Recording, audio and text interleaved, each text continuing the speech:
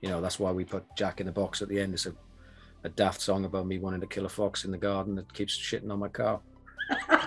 it's kind of like it's kind of like our octopus's garden, you know.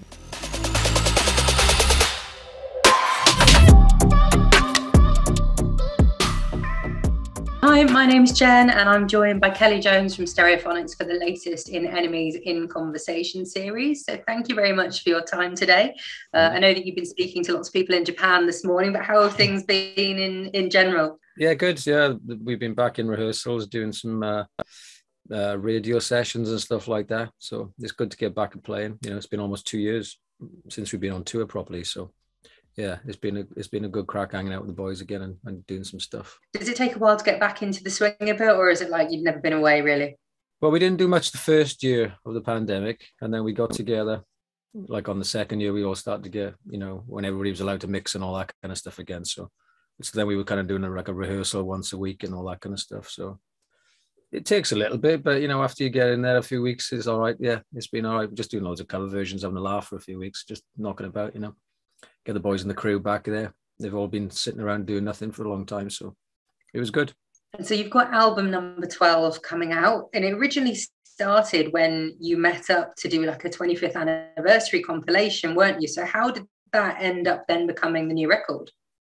Uh, well, well, like I said, really, I mean, the first the first year we didn't really do anything to do with music, um, and then I kind of realized that it was about 25 years since the first album, and I thought we haven't had a greatest hit since Decade in the Sun, which was about 2008, 2009. And there's been a lot of big songs since that time, really. And a lot of young kids, 16, 17, 18 year old, who come to the gigs. And, you know, there's a lot of big songs that we're not on that compilation. So I thought maybe it was uh, a time to, to, compile the second half, if you will, you know, um, onto one record.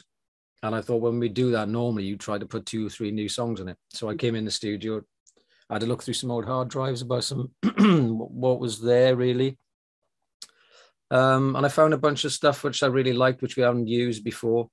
Um, but it's different for me. I mean, I never think of songs as being old or new because when they're released, then they become new. Um, mm-hmm. For example, "Hanging on Your Hinges" was actually recorded on the Kind session on the last album, but it just didn't fit on that record. "Sailor V" was recorded on the Graffiti on the Train session; it didn't fit on that record. So on this record, I found tracks like um, Forever and When You See It and a few other tracks, half and half finished, and I wanted to kind of complete them. And of course, typically in doing so, whenever a musician gets in the studio, he starts messing about and writing new songs. And then I got the boys in the studio, and then before we knew, we had 14 or 15 new songs. So we said, well, you know, fuck the compilation record, let's just put a new record out. So it went from one thing to the other thing quite quickly, really. So uh, maybe the compilation idea was just a catalyst to get back in a room together and, and make some stuff, you know.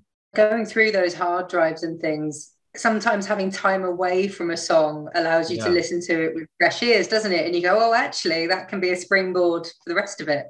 Absolutely, yeah. And I mean, it's interesting how, you know, for me going back listening to music, I don't keep a diary, but my lyrics on my albums are kind of a bit like what you were doing at that point in your life, you know. Um, so there are some songs where you I, I wrote uh, whatever I was going through that time, but they can transcend and be related to what you're going through now as well. So there's a connection with forever. There's a connection to "Do You Feel My Love" and stuff like that when it's written, and what it is like now as well. And it's a bit like how the audience interprets songs. They all have their own interpretation of it. So I wouldn't put it out if it didn't mean anything to me. Mm-hmm. Um, but the songs kind of uh, feel very fresh and relevant, and they and they fit in that group of songs that's on the record. I mean, it's a very intimate album, isn't it? In terms of the lyrical content, in terms of the songs, it's very emotional as well. I mean, right place, right time. That mm. sounds like a very personal song. Um, I mean, there are yeah. some lyrics. It's it's lovely to refer to the mother of your first children saying, "Oh, what a gift," and then talking about your soulmate with your wife. It's yeah. it seems very raw in in some ways. Is yeah. it scary to kind of share that much, or is it the sort of thing by you're used to it by now? No, it's a strange song because um, I think it was the day I had my first COVID jab, and I was just wandering around King's Road, going in and out of the Saatchi Gallery, trying to find some inspiration for the album artwork.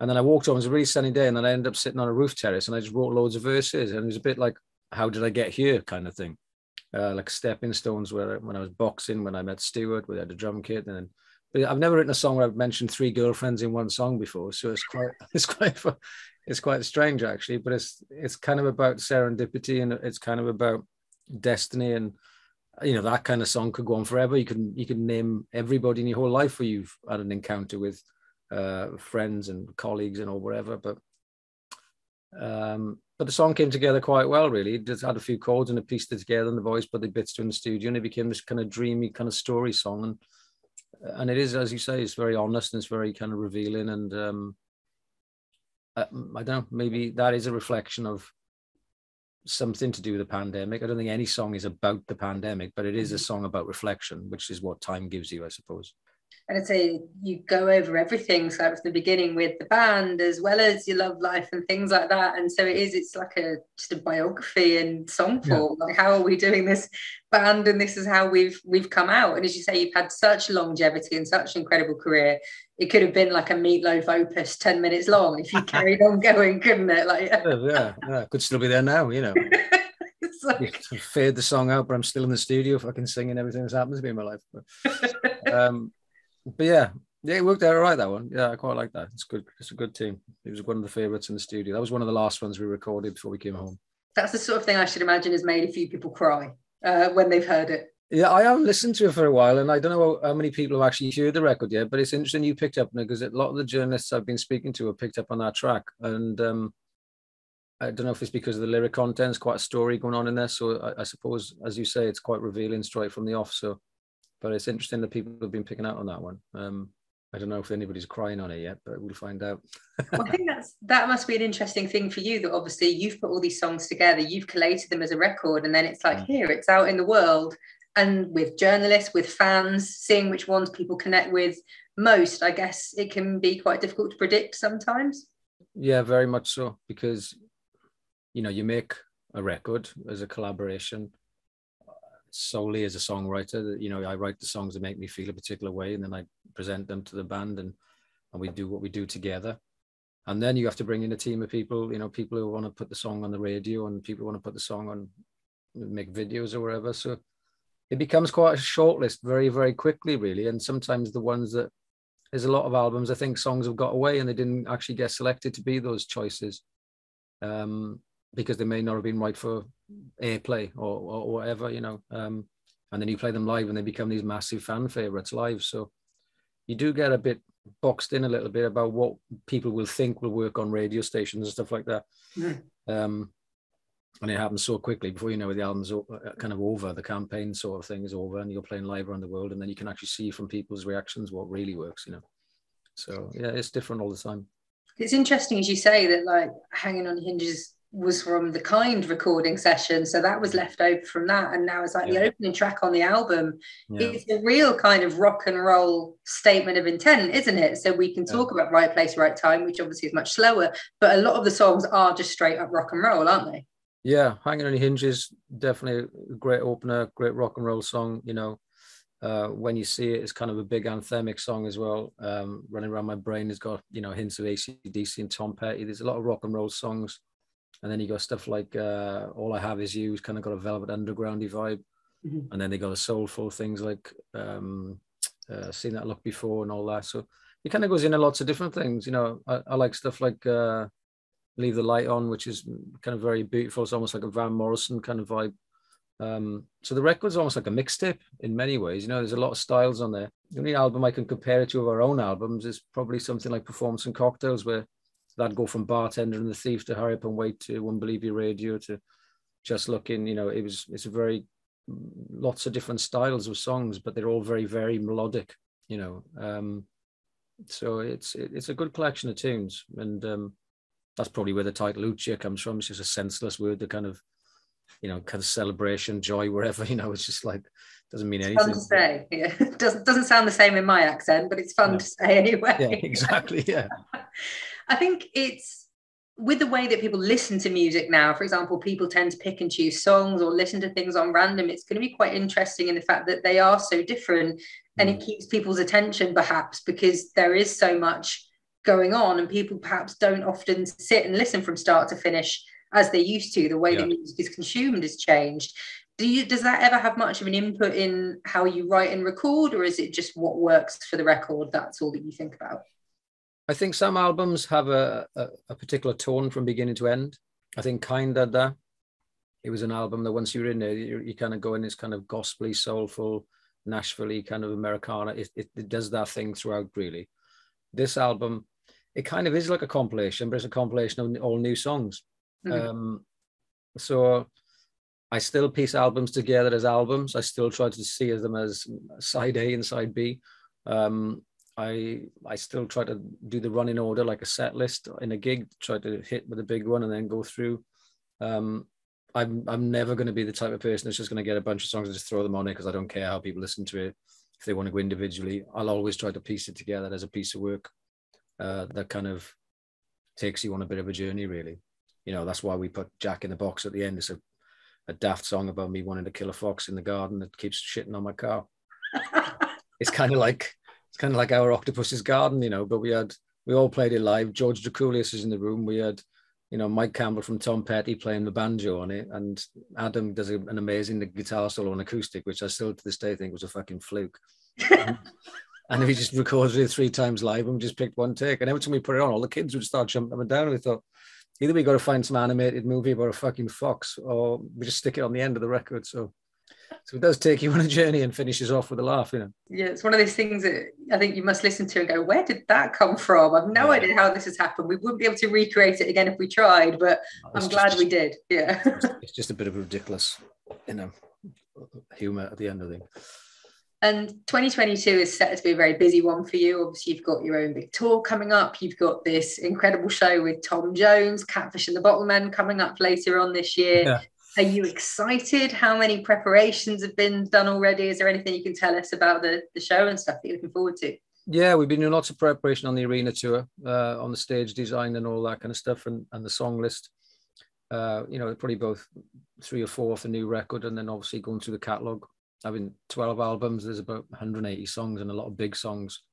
You know, we've been fortunate enough throughout our run to have at least two or three big songs on every record. So as a fan base, we try to appeal to the kid that's known us for 10 minutes and to the people that's known us for 25 years, you know. Um, so it's going to be a big show. I think you're going to, you know, walk out in a better frame of mind than you did when you walked in. I think it's going to be a, a big show and good, a lot of good songs. Um, and the stadium shows, you know, they were postponed from December. They were meant to be uh, something for people to look forward to, particularly in, in South Wales, because they'd been locked up for so long, really. Uh, unfortunately, that didn't happen in December. But, you know, nobody, had, I think we had under 1% people wanting a refund. If anything, we've opened up more tickets. So Amazing. I think, in, I think in June it'll be, it'll be even better, you know. Um, and we're doing a bunch of other festivals in and around that as well, which we start announcing in the next few weeks haven't quite got into Europe and the rest of the world yet with all the complications, but we are happy to be back on the road from March through to September doing shows all over the place. Yeah. You mentioned, I think, to NME last year that you were hoping to play Glastonbury, that you were waiting on a call. Has anything happened there yet? Is there no anything? Call, no. no calls from Glastonbury. No, uh, we had the, we had those Saturday night in the Pyramid Stage, and that was that. We um, we're not going back like, oh, please. Not yet. Not yet. We got some good stuff coming up though, because we got some good shows coming up this summer. So a few of them have been cancelled because of certain things that happened, but mm. but I think there's some good stuff to look forward to. And so previously, with the singles and things that you were releasing, you had opened up about things that had gone on with your son. Uh, there was a song that you released previously that you thought was uh, sexuality about coming out, but then it turned out that Colby was transitioning. Mm. Um, and you've talked about your pride um, so did that inspire any songs on the record? And, and how do you feel now about how attitudes are changing? I know you mentioned that you were relieved that his school friends were lovely about it. So how, how has that been in terms of like response from, from fans and how do you think things are changing in society? Well, I think the reason we spoke about it as a family to start with, you know, I've, always been pretty private with my family stuff, uh, but it was such a a big episode for us as a family, and we didn't really know what to do. We had to do so much research and uh, care into keeping our family safe in something like that, and and learn a lot for ourselves. You know, so if that helped other people along the way within our, you know, small thing that we revealed, then great. Um, Colby's doing great. He's now in the Brit school, studying there and uh, around lots of like-minded kids going through many different and, and similar situations, you know. Um, and everybody's trying to just get through the best we can, you know. Um, it's an ongoing story, really. You know, the kids, Colby's going to be 18 next October, and I'm sure there'll be other episodes after that. So you, as a family, try to do as much as you can around that. Song wise on the record, if there's anything on there, I, I don't know, maybe something like Every Dog Has Its Day is talking about. I don't know if it's talking particularly about any of the kids, but I think it is talking about uh, self esteem and self self belief. And I know, I know a lot of teenagers feel that everybody around them is doing a lot better than they are and you know that uh, there's moments in times they feel what's the point anyway kind of thing so i think that song hints at maybe some feelings that were going on around at that time mm-hmm. um the chorus of that i've had for many many years but the verses particularly i do think speak around that feeling yeah possibly and in, do, do, you think there's going to be another musician in the family then if they're going to the brit school uh, musical or is it acting Uh, they're doing are they doing digital design actually? He's doing um like game designer stuff. But my my five year old is like Liza Minnelli running around the house. If she doesn't end up on the fucking stage boards, I don't know who will. Um, she's she doesn't stop. She's in stagecoach and all sorts of stuff. She's she's great. I mean, she loves. I think she could be Matilda in a few years or something like that. She's into it big time. But um, Colby's a great piano player. But and then Misty has a little battle of the bands in school now and again. So they all they all touch on it. But they don't talk to me about it. They certainly don't talk to me about my music. They've got no interest at all. I mean, like, they, oh, boring. Yeah, they get dragged to the shows sometimes, but they used to dance to the songs and I'd give me a hint about, you know, what was going to work. I remember them all being really into Indian Summer, and that became a big hit. But they were a bit younger then.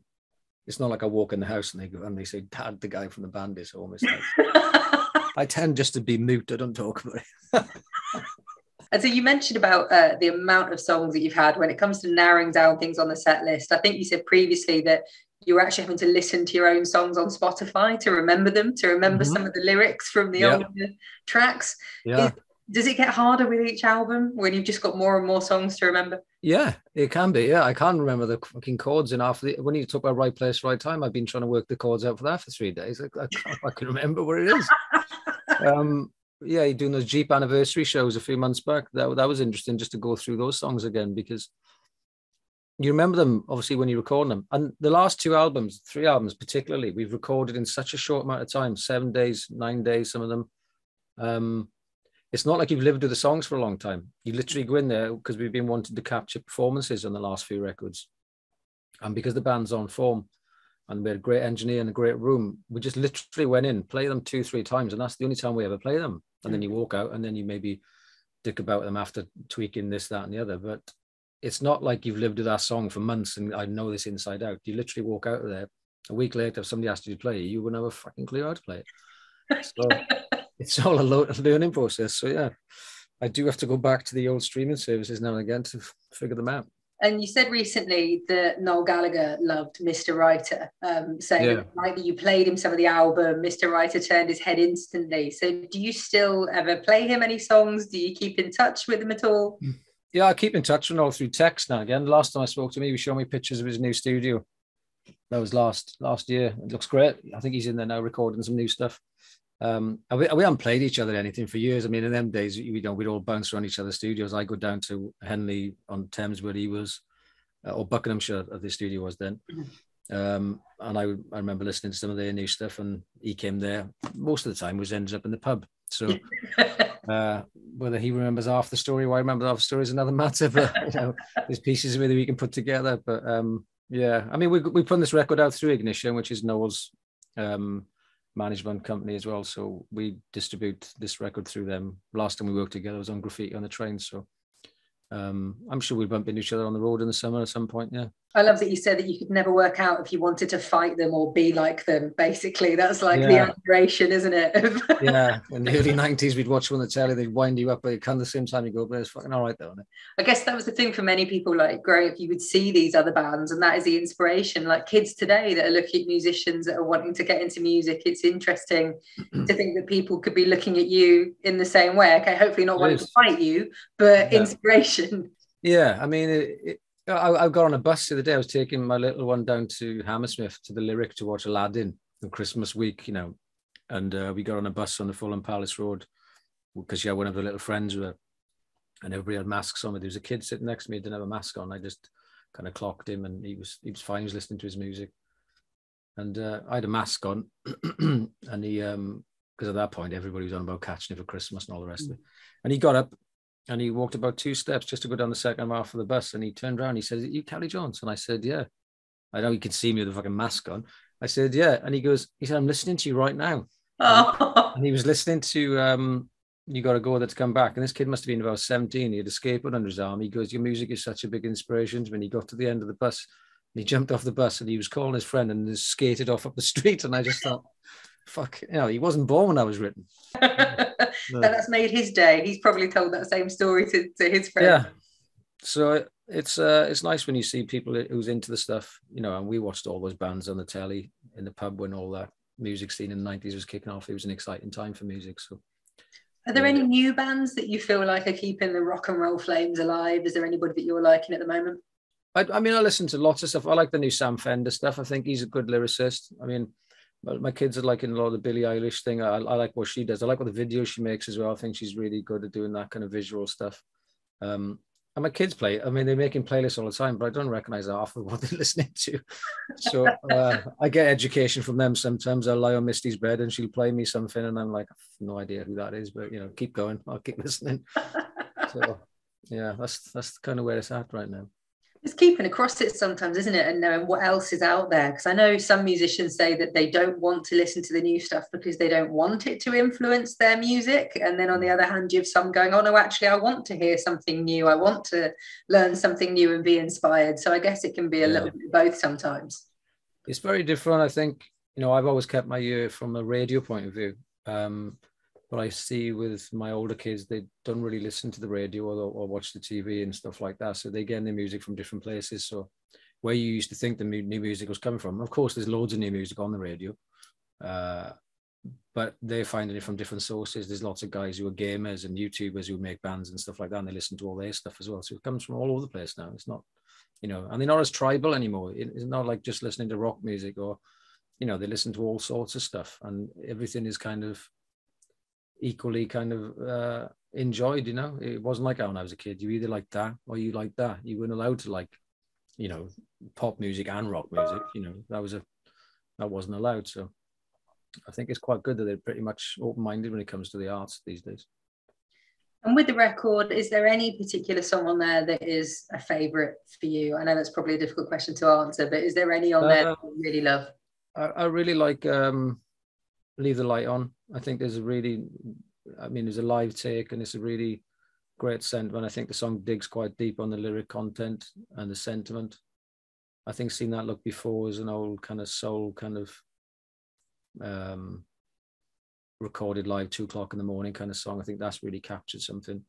Um, I think the big songs have been released so far, been received really well. You know, uh, Forever is obviously doing really good, and My Love and stuff. So it's a record that eh, when we play it, uh, the rare amount of times we play, which is in a rehearsal space when we're trying to work out which songs to do for the shows or whatever. I've forgotten how many different types of songs there are on there because they all span from very different places. So it's not like you can pick one which sums up the record really because it's all over the place. Um, so I guess my favorites will change over the years, I suppose.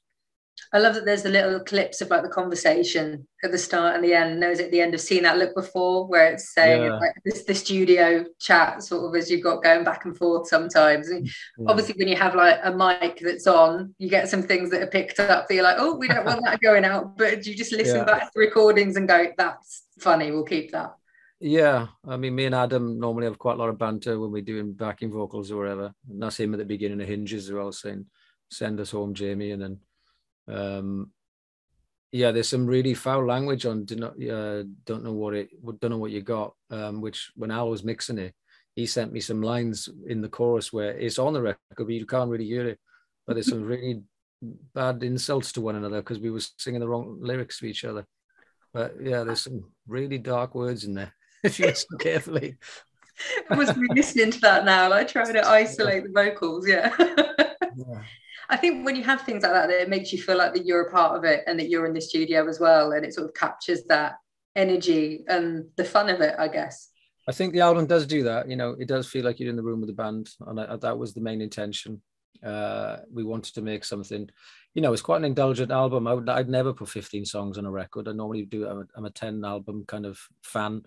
Um, I just figured 25 years, two years being locked up, uh, be indulgent, you know, whatever. So it, I normally would have edited it quite hard, but we were just enjoying it really and just stuck it all together and just put it out as it was. So, and I think it does show a band at a point 25 years in, all like each other, all having a good time and still putting out music that's relevant and in a good place, you know. Well, thank you very much for your time today and good luck with the record. Thanks so much. Thank you.